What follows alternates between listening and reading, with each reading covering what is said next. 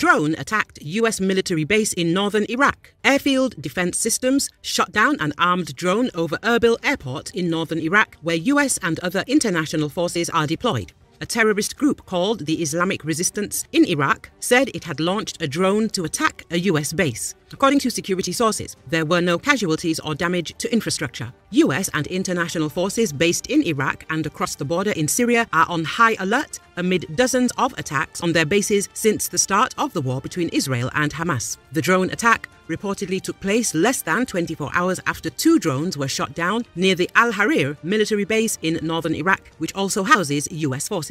Iraqi Prime Minister Mohammed al Sudani ordered an investigation in coordination with the Kurdish regional security forces and promised to bring those responsible to justice. On December the 25th, the US Army attacked the targets of the Kataib Hezbollah group.